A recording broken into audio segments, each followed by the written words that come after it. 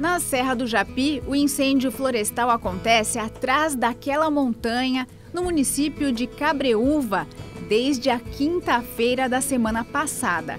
A Divisão Florestal da Guarda Municipal de Jundiaí faz o monitoramento da ocorrência. É um fogo intenso na cidade de Cabreúva e mata fechada de difícil contenção. Por quê?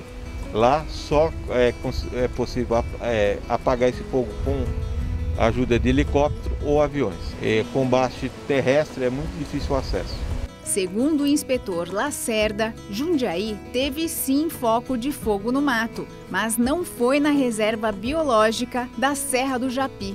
Foi aqui na, no Colégio Técnico Benedito Storani, mas já foi contido. Não existe foco de incêndio na reserva da Serra do Japi, na área de Jundiaí. A estiagem longa e o calor intenso favorecem os focos de incêndio. Agora que o tempo mudou, a situação fica mais estável com a queda da temperatura. Significativamente, essa quantidade de calor ela vai diminuir, pelo menos para esses próximos dias. Então, hoje sexta nós já tivemos uma garoa, uma chuva pequena. A previsão é de termos chuva também amanhã sábado, domingo segunda e terça-feira.